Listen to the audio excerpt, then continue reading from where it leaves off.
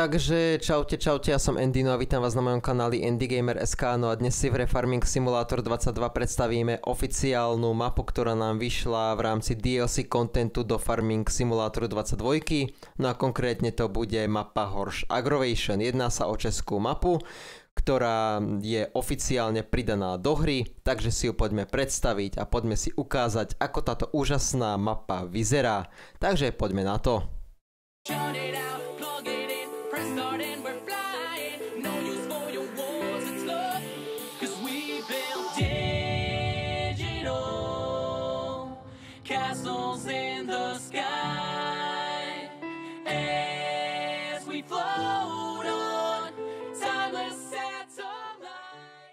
Takže ja vás vítam pri Farming Simulator 22 a áno, dneska si predstavíme Horse Aggravation Pack DLC, ktoré nám vyšlo v rámci Season Passu druhého roku. No a začneme manažérom farmy, aby sme si toto DLC poriadne ukázali, takže dáme pokračovať. No a samozrejme vyberieme si mapu Horse Aggravation.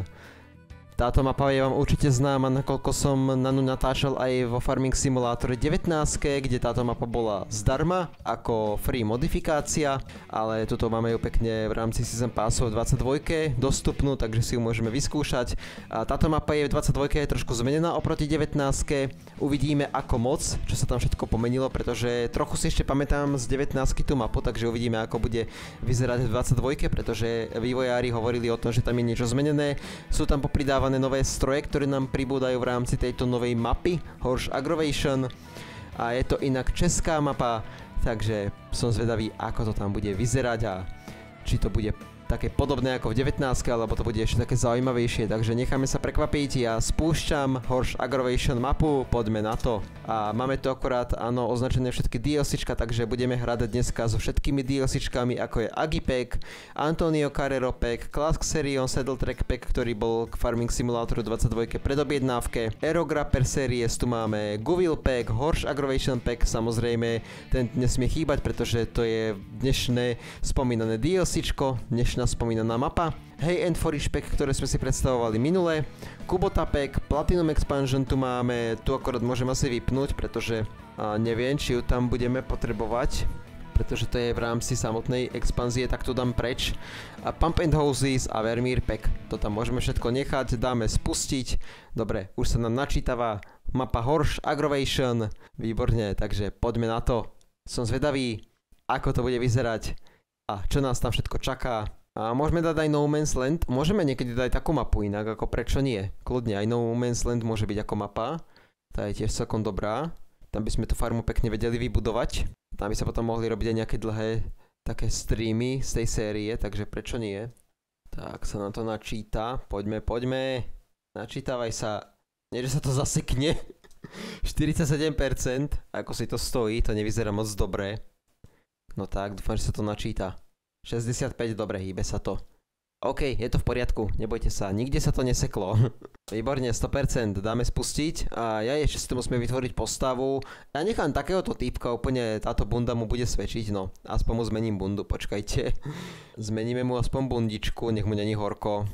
Keďže je leto, dáme mu úplne nejakú krátku bundu a vytvoríme si tam postavu na mapu Horse Aggravation. Uh, ja by som mu dal Možno aj toto, nevyzerá to špatne, takéto tričko. A nohavice, tam môžeme... Čo sa mu tam hodí? Možno aj tie základné by som asi nechal. Boty. Dáme mu takéto tenisky. To je, sú určite vzdušné tenisky, to bude on určite rád, že má také tenisky. A šiltovku mu necháme takú. Rukavice asi žiadne, okuliare môžeme nechať tieto, alebo... Alebo... Čo ja viem, aj tieto? Dáme tieto. Tak, výborne. Výborne, tuto je mapa Horse Aggravation. Áno, ľudia, toto je ona. Mapa Horse Aggravation Pack. Tak toto vyzerá.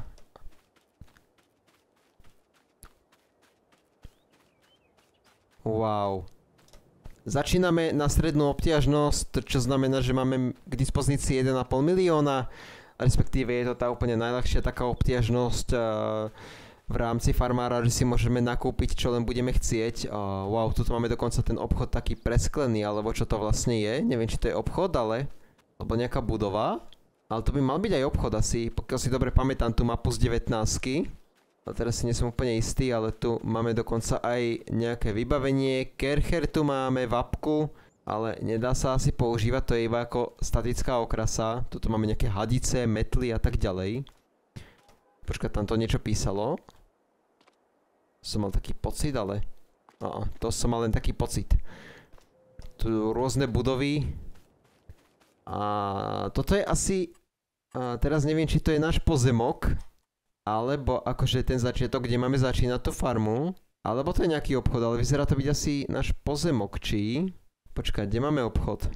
Obchod máme tu, aha. Takže to bude náš pozemok, toto taký základný. Tak ja ho dám kúpiť rovno. Áno, chceme kúpiť. A počkaj, pozrieme, čo nám a, rastie na tých poliach. Tu nám rastie, to je čo, ovoz? Asi ovoz. Na trojke nám rastie pšenica. Alebo kúpime rovno deviatku. Veľké pole. To by mohlo byť celkom v pohode. Veľké pole deviatka. A na 18 nám rastie asi ovoz, no. To bude ovoz pravdepodobne. Mám taký pocit. Aspoň dúfam, že to bude ovoz. Alebo to bude kukurica na tej 18 Čo nám to tam rastie? Počkaj, ja sa tam pozriem, lebo... Akože fakt neviem. Skočíme sa tam pozrieť, to máme tu kúsok. Wow, tu je... Čo to je? Bioplinka? Silo je prázdne, cisterna na naftu. Jaj, to je čerpačka. Výborne, tak ja som kúpil rovno toto aj čerpačku, wow. Tak to už áno. Máme aj čerpaciu stanicu rovno. Taký zaujímavý pozemok ako trošku zarastený. Áno, tu máme uh, Greetings from Zielonka, je to nadchádzajúca mapa. Ďalšie DLCčko potom, ktoré bude vychádzať koncom roku do Farming Simulator 22 v rámci uh, druhého roku Season Passu, tu máme takto bránu, paráda, takže to som tiež zvedavý na to uh, DLCčko na tú mapu, pretože to bude polská mapa a môže byť celkom zaujímavá. A čo nám rastie tuto? A ovoz, dobre, takže toto máme ovoz. Tak to som dobre typol, že to je ovoz.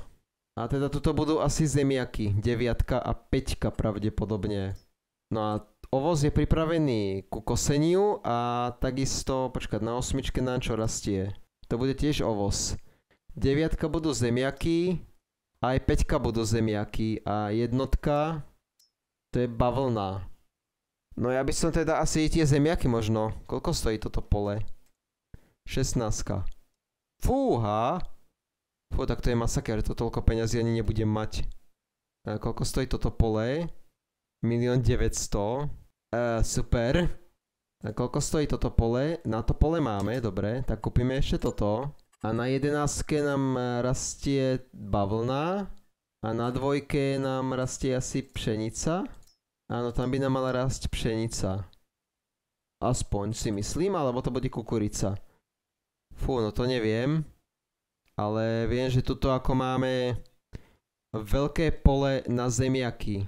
Ako ja by som ho strašne rád kúpil, ale ja sa bojím, že nám nevidú financie. Lebo ešte potrebujeme aj nejaké stroje kúpiť. A na 16 nám rastie ovoz. Neviem, či rastie, počkať. A nie, nerastie, ten už je zoraný. Počkať, a na poli 13 je čo? Repka. Na 15 sú sojové bôby. Na 12 máme cukrovú repu. Ty vole, tá deviatka má láka, to je obrovské pole. Ako spraviť veľkú sklizeň zemiakov. A to sa nám určite vráti, budeme predávať zemiaky. Počkať, e, pokoľko vykupujú zemiaky schválne? Keď si dáme zemiaky. No ako není to až tak boh vie čo asi ako jačmeň alebo tak. No počkať, jačmeň síce tiež moc nevykupujú dobre. Ovoz, ten vykupujú celkom v pohode.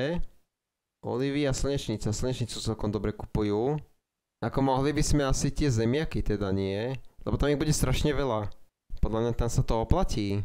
Sice je tam akože menší ten podiel, ale ono podľa mňa by sa to dalo niekde predať. Akorát musím pozrieť, koľko si môžeme fakt z tej banky požičať. Počkať, a koľko chcú za to pole ešte, ma zaujíma. 16 pole. To je 5 miliónov 604 tisíc. Fúha, no ako to neviem, či toľko budeme mať. Vyzerá dobre to DLC, no ja si myslím tiež ako na ten prvý pohľad to vyzerá fakt super. Fú, no 5 miliónov nebude mať ani náhodou. ako budeme musieť kúpiť ešte nejaké iné pole a budeme najprv musieť zarábať nejako inač. No tu máme uh, ovoz, ten môžeme klasicky kosiť kombajnom. A čo je na jednotke? Počka, tam je na jednotke bavlna. Uh, bavlna stojí koľko? 2 milióny. Tu máme kukuricu. Počkať, a peťka, koľko stojí peťka pole? Milión 900. Ty vole, že by sme kúpili peťku pole a to máme tiež ako zemiaky. Uh, počkať, koľko nám vyjde tých peňazí? Aj, aj, aj, to nám nevyjde. Sakra. To som sa trošku prerátal, lebo potrebujeme kúpiť ešte aj stroje. Takže to môžeme rovno na toto zabudnúť. To je moc veľká položka. Ale čo by sme mohli teda počkať? Máme nejaké zákazky pre pracovníkov. Hnojenie 44 tisíc. Fú, to je celkom dobrá zákazka na začiatok že by sme si zarobili a potom by sme normálne išli ako ešte nejakú zákazku, to je pole 5, počkať, 5, kde je 5? To je toto pole. To by sme mali pohnojiť za 44 litrov to by sa aj oplatilo. A potom by sme išli keď tak uh, pokosiť toto pole a tak ďalej. Počkaj, čo tam potrebujeme? Traktor a hnojací stroj. No a ja si tie položky kúpim, lebo traktor budeme potrebovať a nejaký stroj na hnojenie takisto budeme potrebovať. Takže tým pádom uh, na tom ešte aj získame. A kúpime asi nejaký stredný traktor. Teraz neviem, ktorý sa nám zíde. Lebo nechcem kupovať úplne nejaký z tých najslabších.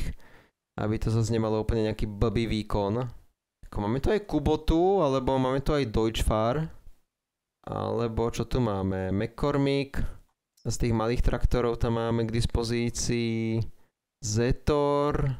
A tých Zetory tieto tie sú také slabšie, no neviem. Ako, ktorý traktor máme vybrať?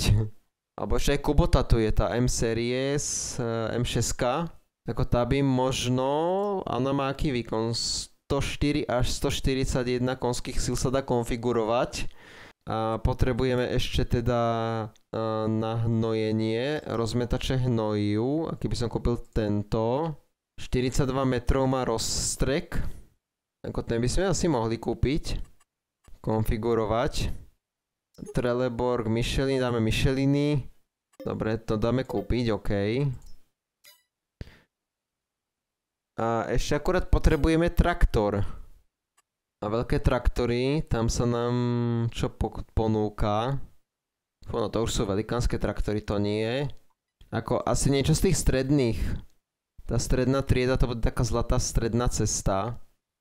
Ja rozmýšľam, či nekúpiť JCBčko. 216 tisíc.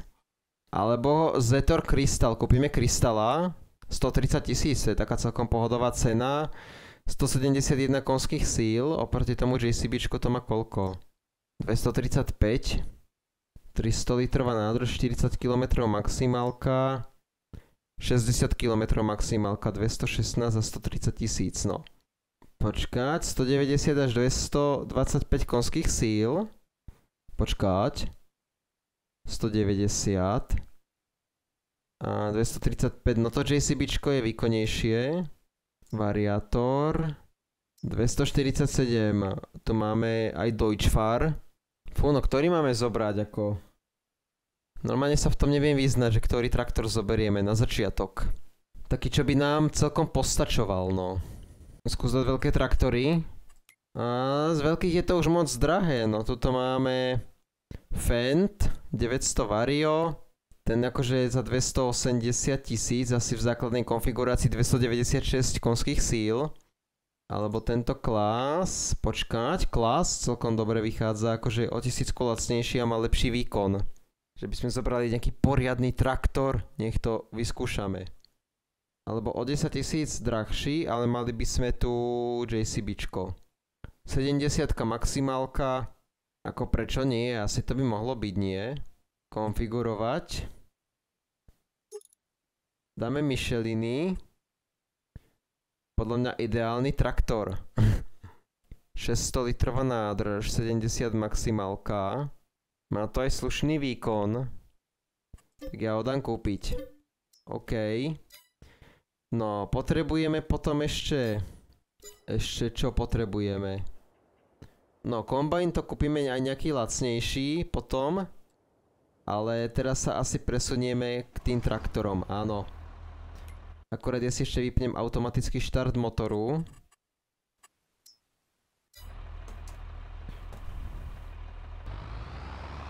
Tak, zoberieme tu JCBčko.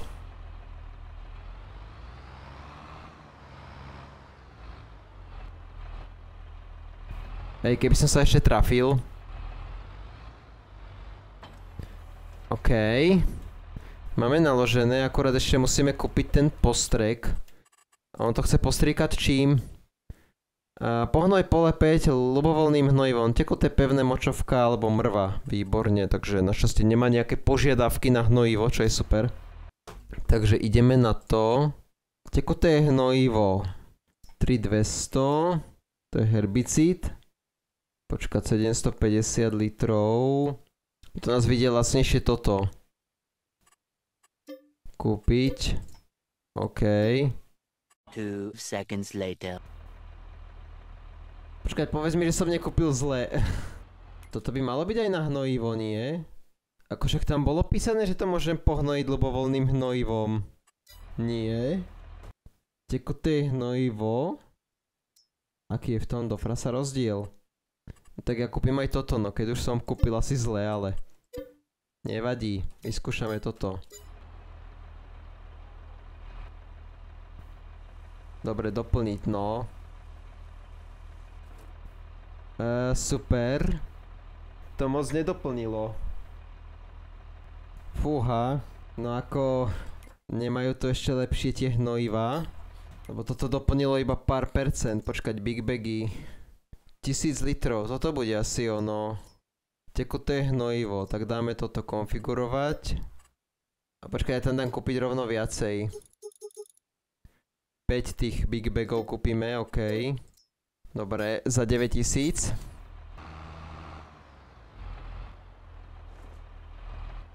OK.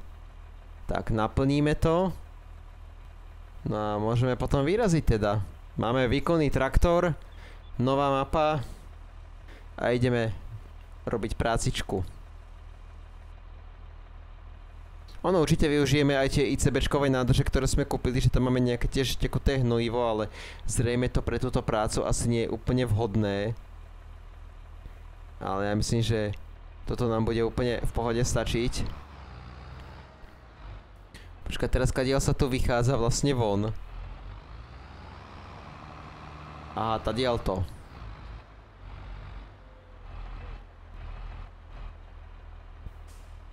A to je pole 5, však to máme rovno cez cestu. Dobre, prijať zákazku.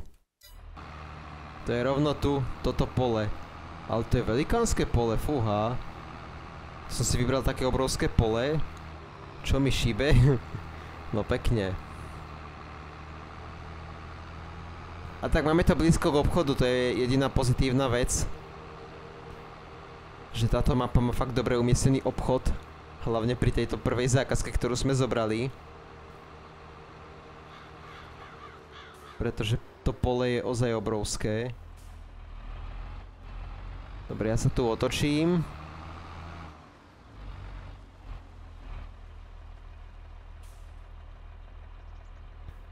Dobre, zmeníme trošku pracovnú šírku. 42 metrov, to bude ideálne.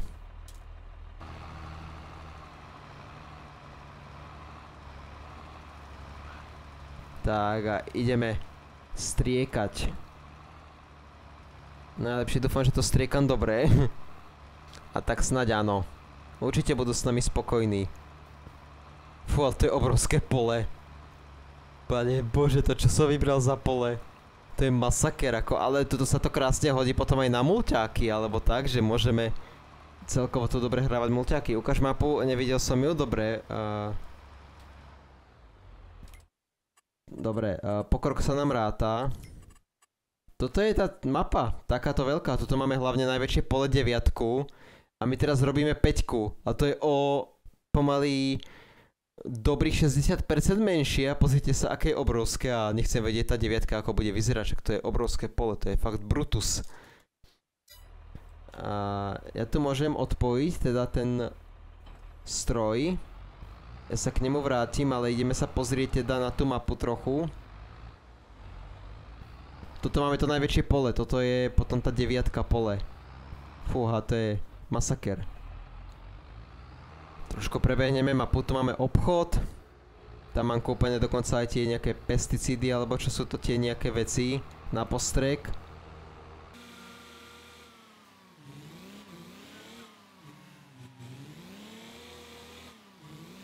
Také cestičky, toto, ty vole, on mi nedal prednosť, halo, NPCčko. Čo to má znamenať? To je nejaká firma, veľké sila. To sú nejaké predajné body, export kontajnerov. Ďalej, čo tu máme ešte? Rôzne cestičky, keď to prejdeme aj to.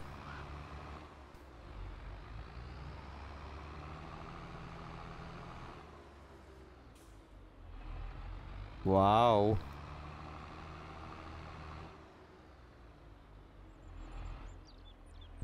Tu máme nejakú váhu a čo tu ešte je všetko? Silo. No a tuto, uh, kde teraz prídeme, akurát tu je brána, super. Tak tuto máme našu farmu, kde sme kúpili pozemok a rovno tam máme dokonca aj čerpaciu stanicu. Čo je fakt super, takže ja to vycúvam. A inak môžeme kľudne, podľa mňa, kto potom bude mať toto DLCčko, tak môžeme založiť multiak rovno asi aj na tomto save. Že to bude také zaujímavé, ako prečo nie. Tu máme dokonca nejaké pole so pšenicou. To je to, čo som kúpil, to je akože tá 18 pole. Celkom slušné pole.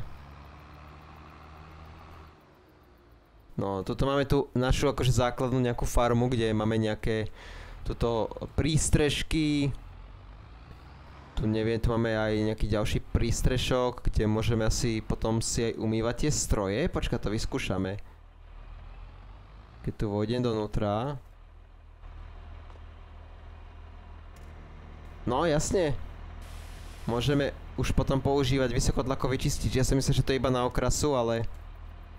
Normálne, keď už to máme zakúpené ako pozemok, tak to môžeme potom používať. A tu máme dokonca aj čerpačku. Počkaj, na to som zvedavý. Čerpacia stanica.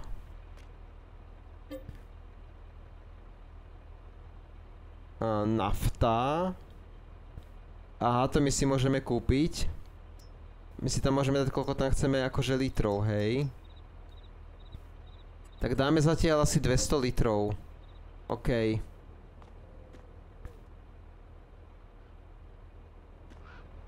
A tu si potom ako môžeme dokonca ešte aj dotankovať. Aj normálne uh, z cisterny palivo, dobré. To nás možno vidie lacnejšie.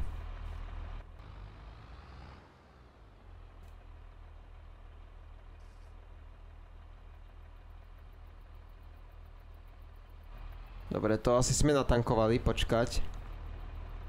Áno, 194 litrov máme paliva, výborne, takže to máme vlastnú čerpačku. Tam potom musíme niekedy s cisternou si doviesť poriadnu dávku paliva. To musíme vyskúšať. Potom toto ďalej je nejaká lúka, to je nejaká brána, ale tam sa ani nedostaneme, to je zatvorené. Potom tuto poza tú budovu tá lúka vedie kam? Tuto okolo. Nejaký kontajner na odpad. Budovy. Toto máme také prístrežky pre nejaké stroje. Nejaké rôzne nástroje. Paráda.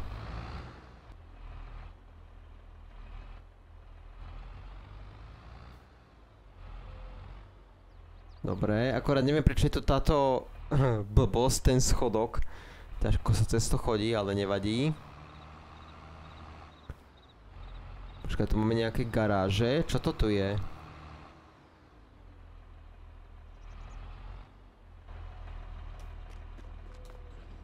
O, to sa dá otvoriť, wow. Počkať. Tu sa dá spať. Počkať, tu sa dá ísť hore, čo je tu hore? E, dá sa tam ísť hore úplne? No, dá. To je taká zaujímavá miestnosť iba. Tu môžeme spať. Tu si môžeme asi... Áno, opravovať vozidlo. Máme tu dielnu. Wow, takže mali by sme mať lacnejšie opravy vozidla. Výborne, tak tu máme dielnu.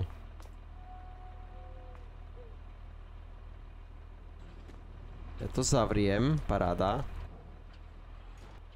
Počkaj, tam hore ešte niečo je? Tuto hore? Ale ako sa tam dostanem? Počkajte, ja to chcem skúsiť sa tam dostať. Otvoríme toto. Otvoríme dvere. Tam sa dá ísť na poschodie niekde, ale... Počkať, kde sa tam dá ísť na poschodie? Aha, oni sa tie dvere dajú otvoriť, ja som myslel, že to je stena. Lol. A tu si môžeme meniť oblečenie. Wow, tak akože tu máme šatník. Oho. Kuchynka. Tuto máme nejakú chladničku. Hasiaci prístroj nesmie chýbať pri nás. Vysavač, voda. Šachy tu môžeme hrať. No vyzerá to tu pekne. Taká útulná miestnosť na odpočinok po ťažkej práci na našej farme, takže my pokračujeme ďalej. Hups, akorát trošku nejaké bugy a skončil som skoro v streche, ale nevadí. No a my ideme teda von. Ja toto nechám otvorené, akorát toto zavrieme. Tak. Naskočíme. Počkajte, ešte tu máme nejakú garáž. Čo máme tu?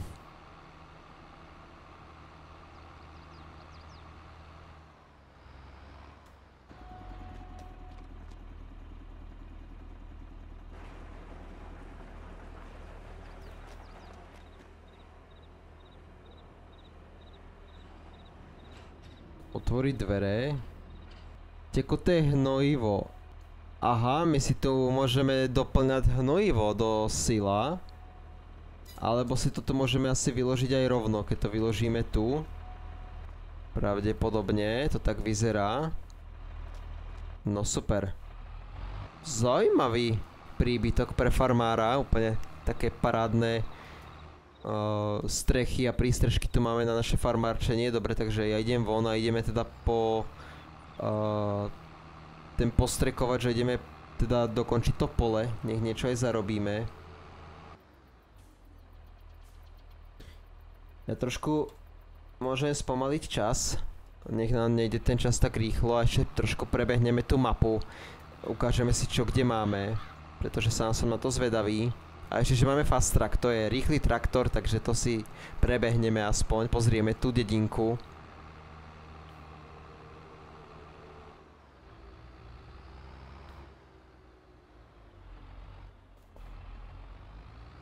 Tu máme takto Horš. Agrovation, paráda. Počkaj, to je tá naša farma, že? To som sa tady vrátil, aha. Dobre. Tak ja sa tu otočím. Ideme sa pozrieť tu ďalej, ale tu už asi bude koniec pravdepodobne. Tá naša farma je úplne tak na konci. Áno, tu už je koniec. Ale v diálke je krásna tá ilúzia tej dedinky. Toto fakt spravili dobre, že nie je tam proste tá mapa nejak utnutá, že by ste tam videli koniec, ale máte pocit, že tam ešte vedie dedinka ďalej. Počkaj, dá sa tam ísť? Nedá, dobre. No pekne, NPCčko.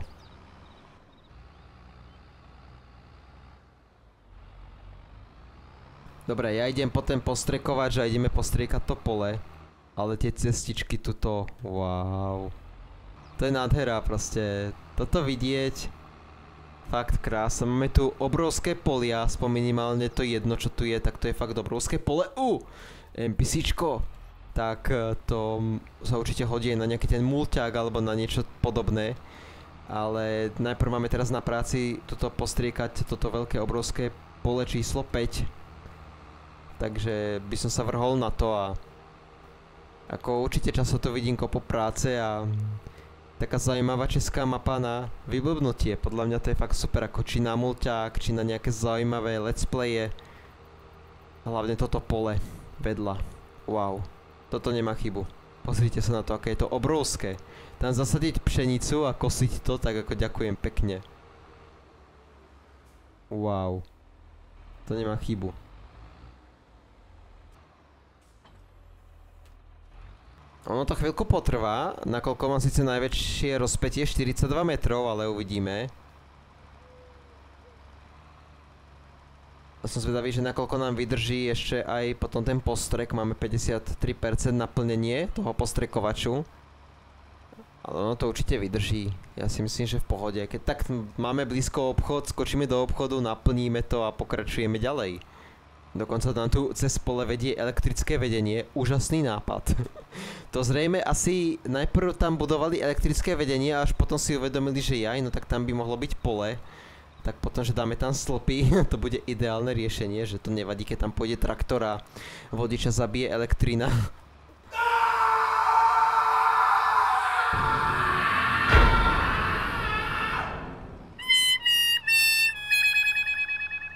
Wow, to je obrovské, fakt. Neskutočné. No, trošku som zasiahol ten stĺp s tým postrekom. To je tak, keď tam pani inžinieri dajú elektrínu, no. To tak dopadne potom, že zasiahnete elektrický stĺp postrekom, hnojivom. To sa stáva. Áno, to aj v bežnom živote sa stane, že úplne zasiahnete elektrický stĺp a vypadne polka elektriky v meste a vy poviete, to sa stáva. Alebo na dedine. Záleží, kde by to pole bolo. Úplne, že meské pole, no. že by niekto postavil pole v meste, no. To by bolo tiež celkom zaujímavé. Wow, to je obrovské toto.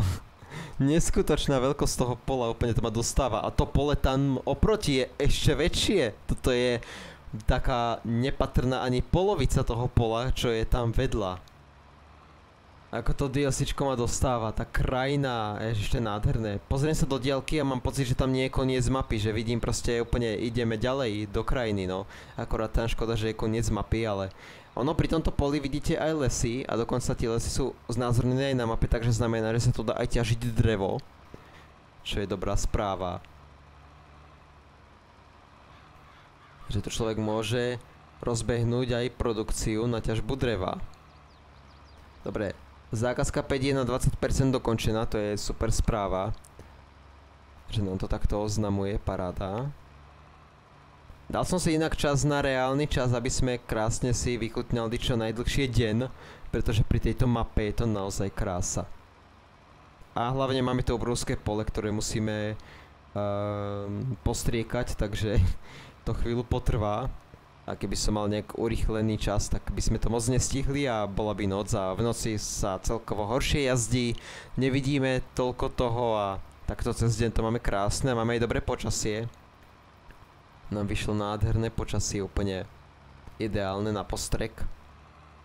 Ja by som toto pole asi potom aj kúpil rovno. Ako prečo nie, že by sme v multiáku napríklad, síce chcel som kúpiť to obrovské pole, ale mohli by sme kúpiť najprv toto menšie a mohli by sme v multiáku spraviť to, že by sme ho išli pokosiť. Podľa mňa by to bolo super, ako také spoločné kosenie obrovského pola. Ako prečo nie? To by mohlo byť celkom zaujímavé a postupne by sme tu potom budovali techniku. Spravili by sme to tak ako na platinovke, že by sme mali tento save zároveň ako single a ako mulťák. Že by to tak mohlo byť a zároveň by sme tu potom aj v mulťákoch mohli budovať techniku, aj v singli a tak ďalej by sa to proste prelínalo. Takže z tohoto vznikne asi nová séria. Horse Aggravation. Farming Simulator 22, no.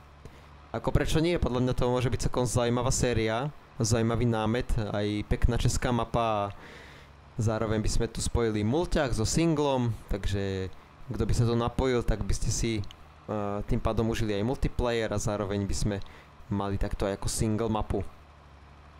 Pretože tá mapa ozaj si zaslúži pozornosť, hlavne toto pole, ktoré je vedľa, tá veľkosť ma úplne až desí. Strašne obrovské pole to nám potrvá extrémne dlho, kým by sme ho napríklad aj len pokosili a potom ešte napríklad skultivovať a celkovo zasadiť, no to ani nehovorím, ako fú. Zasadiť také obrovské pole, no ďakujem pekne. Ale podľa mňa Fast Track bol dobrá voľba, pretože ako vidíte, že krásne si ten traktor s tým dokáže poradiť. Sice bola to trošku drahšia voľba, ale nie moc, pretože uh, veľké traktory by boli ešte drahšie a toto bolo, tuším, z tej strednej triedy brané. Sa mi zdá, že sme to brali a podľa mňa ideálny traktorík. Ešte dobre, že vidím v diaľke aspoň tie kolaje od traktoru, tak sa viem približne orientovať, že v akej vzdialenosti asi tak cca by som sa mal držať. Možno. Aspoň dúfam, že mi, mi to tak vychádza. Horšie bude, keď prídem na koniec pola a ešte nám bude zo pár percent chýbať a nebudem teraz vedieť, že kde mám postriekať to pole, aby som to splnil. budem potom jazdiť krížom krážom, to bude fakt zaujímavé. No neviem, či prídem na koniec, lebo mám 15% toho postreku. Budeme musieť ísť do obchodu. Nakúpiť ešte ďalší postrek. No 50% máme hotové, áno, teraz nám to tam skočilo, ja si myslím, že už 60 bude, no. Tak zrejme som sa prerátal, nevadí. Ten traktor vyzerá ako mravec v tom poli úplne. sa tam stratí pomaly. Ešte aj pomaly splýva s tým polom žltý traktor, čiže máme pomarančový rozstrekovač so zelenými prvkami, no. To aspoň tam rozoznáme, že čo tam niečo sa hýbe. Ale tá dedinka, ako tá mapa je fakt krásna. Wow. Ten výhľad je úžasný. Ako ja hodnotím túto mapu 10 z 10. Fakt. Nádherná mapa. Krása. Mám taký pocit, že fakt to tak prepracovali, že oproti 19 tá mapa je oveľa krajšia. Ani sa nečudujem, že sa to pýtali nejaké peniaze, pretože ako mm, kým vypracujú tú mapu a celkovo aj tie modely, tak ono to samozrejme dá zabrať a to nie je len tak.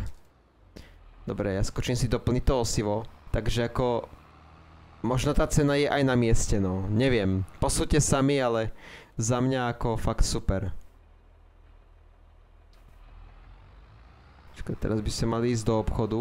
Oh, ja tam je patník, som sa zasekol, ten patník, ty vole.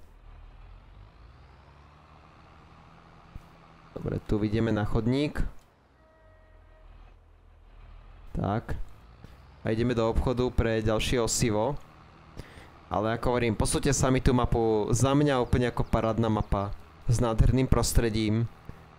Dokonca máme na farme vlastnú benzínku, čo sa len tak nevidí. A vedľa toho máme rovno hneď aj obchod. Takže fakt parádny pozemok úplne. To je vysnívaný pozemok. Ja skočím kúpiť teda ešte to nejaké osivo. Teda osivo, ty vole, postrek tekuté hnojivo teda, to som chcel povedať. Osivo nám je tak na dve veci zatiaľ. E, počkať, koľko môžeme? 8. Dobre, tak kúpime jedny osmičky. OK, a kúpime ešte druhé. OK, to by nám malo stačiť. O, toľko mechov úplne.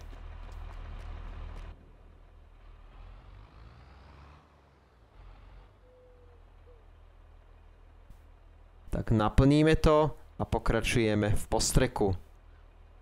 A inak čo sa mi páči, tak dokonca automaticky sa nám krásne zatvára ten kryt, čo je zaujímavé, že nemusíme to zatvárať ručne, ako môžeme to zatvoriť aj ručne, ale keď odídeme teraz od toho plnenia, tak sa nám to automaticky pekne zavrie. Ja tam ešte naplním, tak.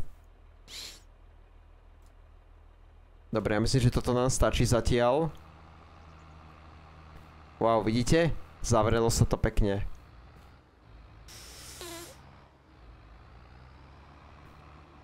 Tak ideme na samý koniec pola a vyrážame odtiaľ, kde sme skončili. A za palivo platičke to je na tvojom pozemku. No ty si tam buď zaplatíš rovno do nášku paliva, že si tam ako zaplatíš napríklad 10, 20 alebo 100, 200, 300 alebo 1000 litrov. Alebo si to dovezieš pravdepodobne asi v cisterne. A teraz neviem, čo je výhodnejšie, že či tá donáška paliva rovno na tú pumpu, alebo si to doviesť v cisterne. Ja to na budúce skúsim doviesť v cisterne. Že ko, ako to vyjde, či to vyjde lacnejšie. ako tam normálne ísť takto, že to tam iba zaplatiť, alebo si to doviesť rovno v cisterne na palivo. Lebo dá sa to tam aj doviesť na tú benzínku. Sice v rámci farmingu oficiálne to máme iba tú malú cisternu, takú za autičko, čo môžeme zapojiť, tu neviem koľko to má, 5000 litrov tuším kapacitu. Ale možno v rámci modifikácie by som stiahol aj nejakú väčšiu cisternu, uvidíme. Že by sme si tam prípadne vyskúšali aj nejaký, nejakú veľkú cisternu za kamión. Ale to uvidíme časom, ako zatiaľ tam máme nejakých 100 litrov paliva alebo koľko na tej čerpačke a podľa mňa nám to bude teraz úplne stačiť, pretože fast track máme skoro plný a mm, zatiaľ nejaké ďalšie stroje nemáme. Časom ako zbudujeme, ale zatiaľ je to úplne v pohode. Ako ja si myslím, že ono tu máte aj podľa mňa asi čerpačku. Počkať, vypneme takto rozstrekovač, pozrieme, či tu máme čerpaciu stanicu. Nie som si úplne istý, ale myslím si, že by tu čerpačka mala byť.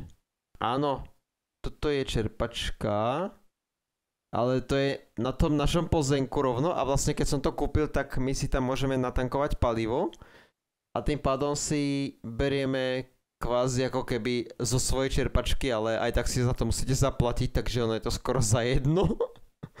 to je úplne ideálne, no, si tam proste natankovať palivo do zásobníku a nakoniec sa to tvári ako, že to je vaše palivo, ale aj tak si za to zaplatíte, no, takže ono je to za jedno. Takže to je asi zbytočné riešiť, že či za to palivo si tam zaplatím alebo nie.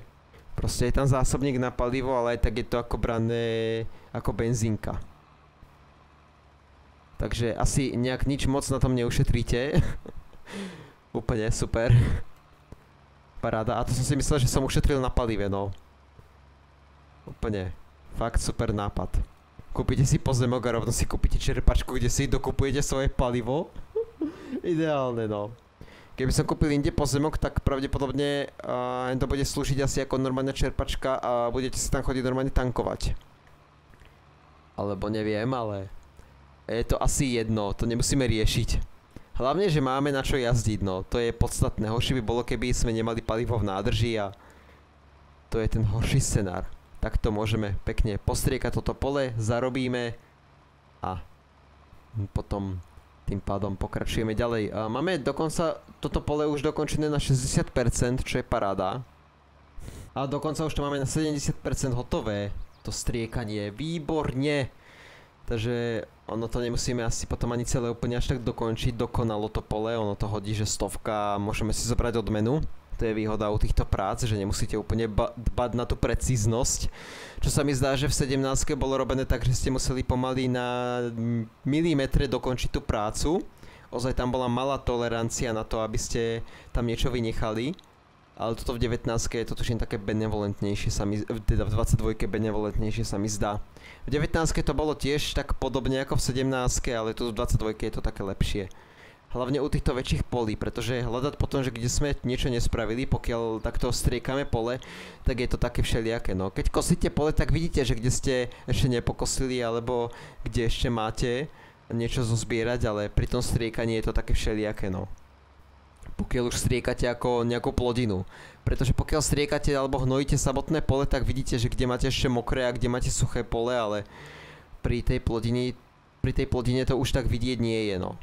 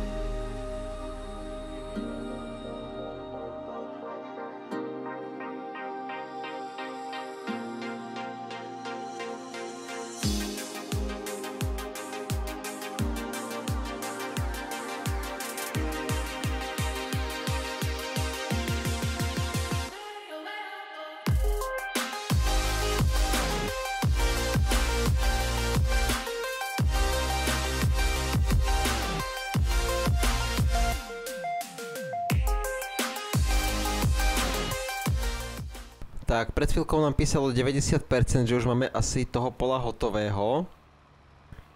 Tak ja som zvedavý, že čo skoro by nám malo dať, že máme hotové toto pole a dostaneme peniaze.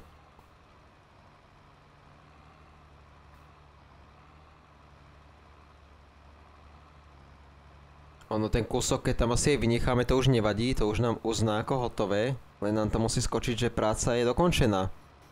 Ako ono, keby tam bol nejaký bonus za to, že máte už hotovú prácu, že vám to oznámi a dokončíte ešte ten zvyšok a dali by vám za to zo pár stoviek, tak podľa mňa ľudí by to motivovalo dokončiť to, ale takto ako na čo. Keď nám to zahlasí, že to máme hotové, tak e, odstavíme traktor, zoberieme peniaze a máme hotovo. Srnky tam skáču, super, tá vletela do toho pola. Dobre, práca je dokončená. Máme to tam napísané. Tak a zoberieme si náš podiel. Tak, 44 789 eur. Vynikajúco.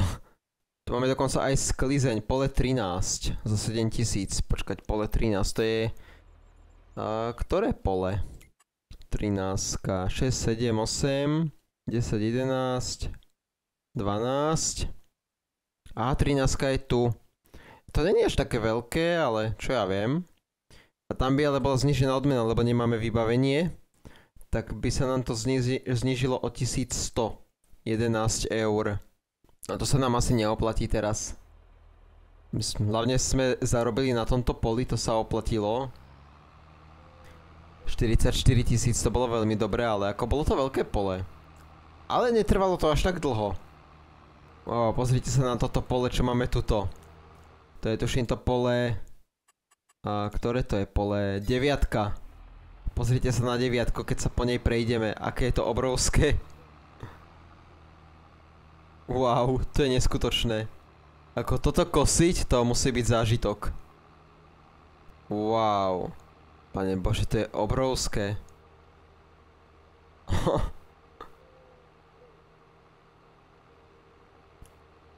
Pozrite sa, idem 73 km za hodinu a ešte nie som ani pomaly v polovici, no za chvíľu budeme v polovici, ale asi teraz nejak, ale neskutočná veľkosť. A ešte tam tie záhyby, toto, to úplne obrovské, najväčšie pole, aké som asi vo farmingu videl zatiaľ, keď tam nejaké špeciálne modifikované mapy, kde môžete mať ešte pomaly 4 krát väčšie pole, ale ako aj tak. Wow na nejakú základnú DLCčkovú mapu je to asi najväčšie pole, ktoré tu máme. Fúha, dobrá veľkosť. Ako toto kosiť, no ďakujem pekne. To aj ten kombajn bude mať toho dosť. ktorý to tam bude spracovávať. To fakt by sa hodilo na multiplayer a aby boli nejakí odvozcovia na uh, buď zemiaky, alebo čo tu vlastne roste, tu rostú tuším zemiaky, no tak to by bolo ideálny odvozcovia na zemiaky, uh, stroj na zemiaky, minimálne aspoň dva stroje na zemiaky, ktoré by to zbierali, každý z jednej strany a ideálna mapa do multiplayeru. Presne to hovorím, že môžeme kľudne potom aj založiť mulťák, kto bude mať túto mapu, tak môžeme na tomto save, ktorý zrovna hráme, potom pokračovať aj v multiplayer sérii. Ako fakt ideálna mapa, ideálne pole. A krásna mapa hlavne. Ako kľudne. Fakt, paráda. O, jaký šmik.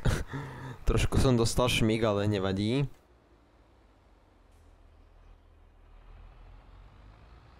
Som to vyrovnal úplne v pohode.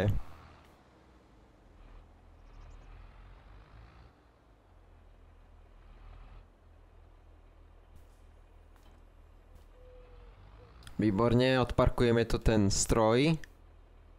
Ale za mňa super mapa, čo poviete ako... Wow. Keď sa pozriete na tú veľkosť a aj na tú krásnu krajinu. To nemá chybu. Toto keď ešte vidíme von. A prejdeme sem na tú našu časť toho pozemku.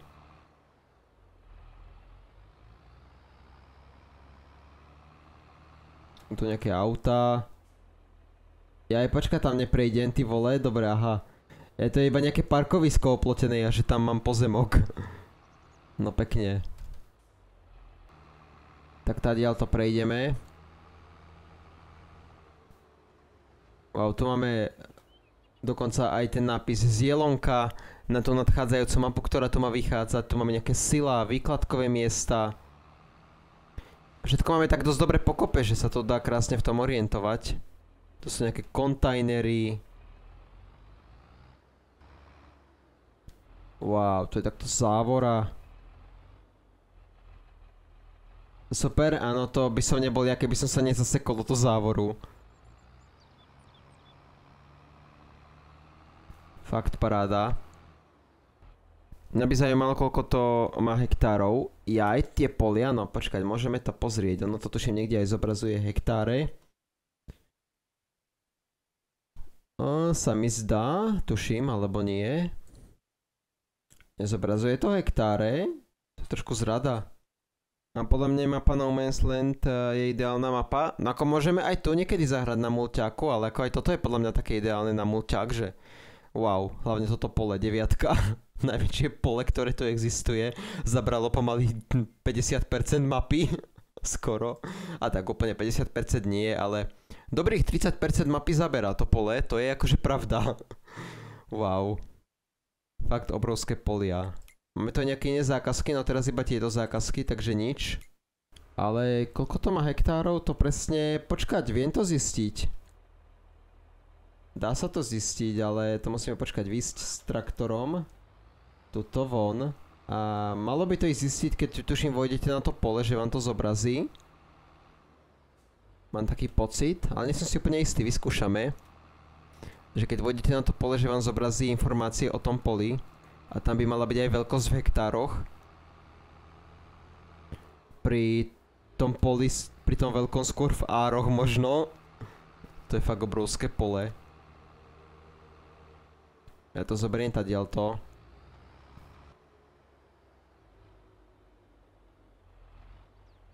Wow, bože to pole je obrovské. Uh, dobre, uh, to je ako som zaparkoval traktor. What the f, ja som prešiel cez plot. Čože? Profesionálne zaparkovanie traktoru, no.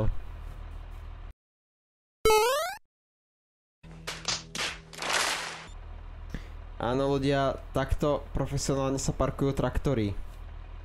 Wow. to je sila. Áno, takto sa to ľudia presne nerobí, no. A tu máme iba, že čo tam rastie, koľko percent je k výnosu a koľko je percent pohnojeno, ale informácie o veľkosti pola to nemám, bohužiaľ, no škoda. Ja si myslím, že tu máme aj informácie o veľkosti pola, ale to tu nemáme. Nevadí. No, dobre, tak, vycúvame, super. Sme to zvládli. Paráda. Dobre, ja to odparkujem tu. Ideálne, tak. Hasneme motor, no trošku nám to už zožralo aj palivo, ale to není moc. To je úplne v pohode. No a za mňa úplne super DLCčko, super mapa. Ako hovorím, v 19. táto mapa bola zdarma, ale ako vôbec uh, nečudujem sa, ani sa nehnevám na to, že za to tí vývojári Giant Software pýtali nejaké peniaze, pretože táto mapa je prepracovanejšia, je to tu krajšie a ešte si ukážeme techniku, neviem či ju tu nájdem, ale mali by sme tu mať ešte dokonca aj nejakú techniku v rámci tohto DLCčka, čo sa týka ako novej techniky, tak ja to rýchlo čeknem. Keď si dáme obchod dáme si značku, neviem či tu bude podľa značky niečo, ale ako mali by sme tu mať nejakú tú techniku dostupnú. Áno, uh, Horš. A máme tu dostupné rôzne pluhy, oračky a tak ďalej, takže prvé Uh, tu máme kultivátor k prípravy polí. Tento kultivátor stojí 15 tisíc, je to Terrano 3 FX a s označením Horš. 1,9 tony, 103 kW výkon, požaduje 3 m rozpetie, 15 km maximálka. Skús na strom zaparkovať. No, ideálne, áno, to určite by dopadlo dobre. Potom tu máme diskové podmietače, a tento má 2 tony, 103 kW výkon, požaduje 4 m rozpetie, 18 km maximálka. Mulčovač, 3,5 tony hmotnosť, 177 kW požaduje výkon, rozpätie 8,9 metra, no a 18 km maximálna pracovná rýchlosť. Potom ďalší mulčovač, tento už je trošku väčší, hmotnosť 8 tón, požadovaný výkon 199 kW, čiže 270 konských síl, rozpätie je 12,2 metra, no a maximálka je 18 km za hodinu, plus môžeme si tu ešte konfigurovať vybavenie Design 1, Design 2, máme ešte takéto valcovačky tam, paráda, takže to si tu môžeme prípadne ešte vždy aj dokonfigurovať za 1000 eur. A potom tu máme také kultivátory, ktoré idú iba nízko pod zem a keď prija nám pekne pôdu, tento má 3,3 tony hmotnosť, 162 kW požaduje výkon, čiže 220 konských síl, 6 metrov je jeho rozpetie a 15 km je jeho maximálna pracovná rýchlosť. A potom tu máme kultivátor, a tento kultivátor váži 10,4 tony, 324 kW, čiže 440 konských síl požaduje výkon. Je už to naozaj taký veľký kultivátor, ktorý požaduje obrovský výkon. No a rozpetie je 7,5 metra, no a maximálka je 15 km za hodinu. A potom tu máme diskový podmetač, tento podmetač má 9 tón hmotnosť, 243 kW, čiže 330 konských síl požaduje výkon, 8,2 metra má šírku, no a 18 km za hodinu je jeho maximálna rýchlosť. A môžeme si tam eh, meniť vybavenie jednotka siacieho stroja dokonca. Takže to ešte môže byť ako aj zasievač. Paráda. Rozmetač močovky. Alebo jednotka siacieho stroja plus rozmetač močovky. Alebo štandard. Takže ako to môžeme mať ešte aj rôzne konfigurácie na tých strojoch. Napríklad toto máme jednotka pre distribúciu hnojiva, valcovačka s horným kruhom, takže tu môže byť taký kruh ešte. A potom ďalej tu máme dodatočná nádrž k zvýšenie kapacity nástrojov. Napríklad do tejto nádrže môžeme dávať asi rôzne hnojiva, aditíva a tak ďalej. Kapacita tejto nádrže je 1600 litrov, hmotnosť je 700 kg a stojí 19,5 tisíca. A potom ako ďalší nástroj tu máme k sadeniu plodiny. Napríklad tu môžeme sadiť jačmen, pšenicu, ovoz a tak ďalej, kukuricu. Takže máme tu siačku. Napríklad tá nádrž slúži asi k tej siačke, že si tam môžeme dať aj plodinu a môžeme to zasievať rovno s týmto. A zároveň tu máme aj potom uh, takýto balíč, valcovačka s trapezovým potrubím alebo uh, Rolfex balíč. Potom tu máme voľnovacie hroty kolajníc, to sa nám tu pridajú také hroty ešte. A design. Buď to máme takto, alebo máme takto design. A môžeme tam mať ešte aj poznávaciu značku možno, ale to nepotrebujeme.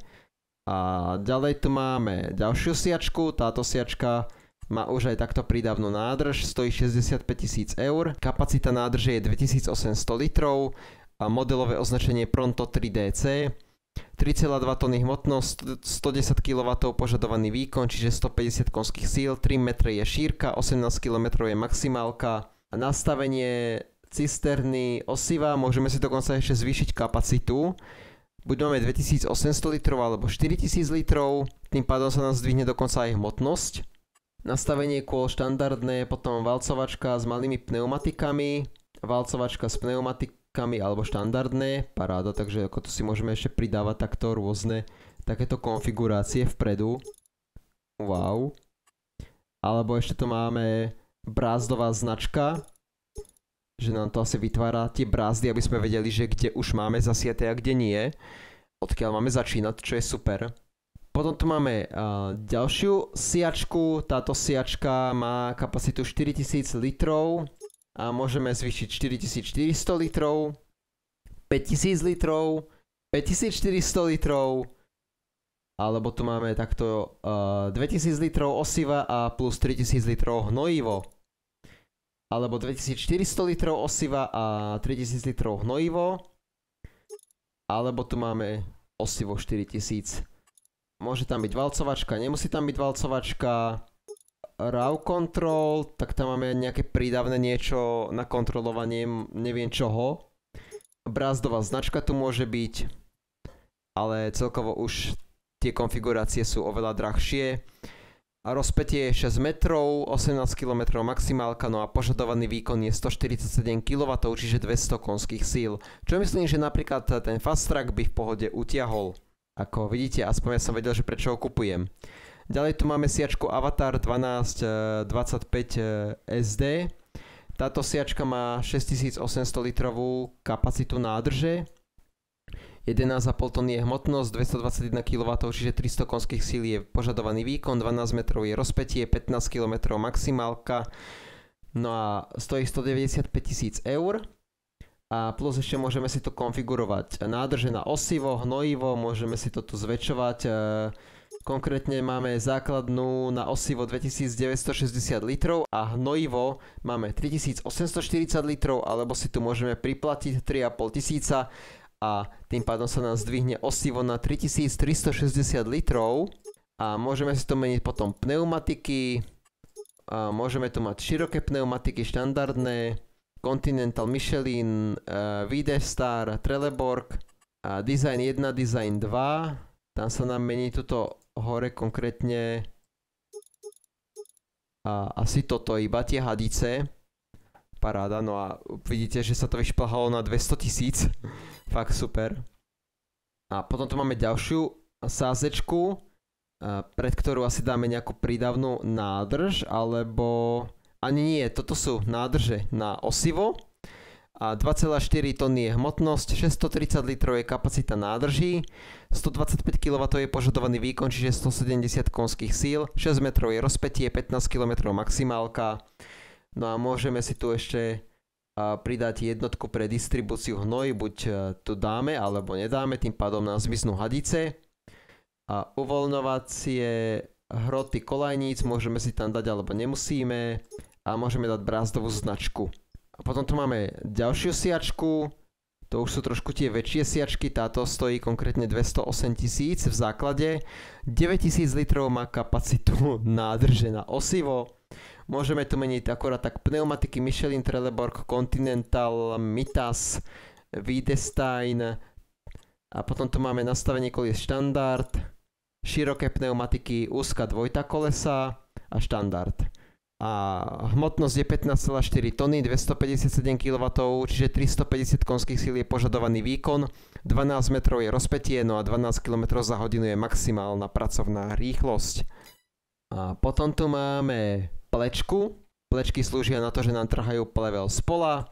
No a táto plečka a môže meniť kolesa Trelleborg, Michelin, BKT, Wiedestein, a nastavenie kolie štandard, 8,7 tony je hmotnosť, 147 kW, čiže 200 konských síl požaduje výkon, rozpetie je 24,5 metra, no a maximálna pracovná rýchlosť je 12 km za hodinu, no a cena tejto plečky je 85 tisíc eur. No a potom tu máme ešte motika, odstráni menší i stredné vzrostlý plevele rostovce medzi plodinami a navyše tá výnos lze použiť v první fázi rustu, takže toto je podobné ako plečka, len to funguje takým zaujímavým spôsobom, uvidíme, že funguje to asi dosť podobne, ale volá sa to, že motika, paráda, zaujímavý názov. Je to od Horseshoe Transformer 12 VF. 3,5 tony je hmotnosť, 184 kW, čiže 250 konských síl je výkon požadovaný. Rozpetie je 12 metrov, maximálna pracovná rýchlosť je 12 km za hodinu, označenie kolies, no a samozrejme môžeme meniť iba poznávaciu značku, no a cena je 95 tisíc eur.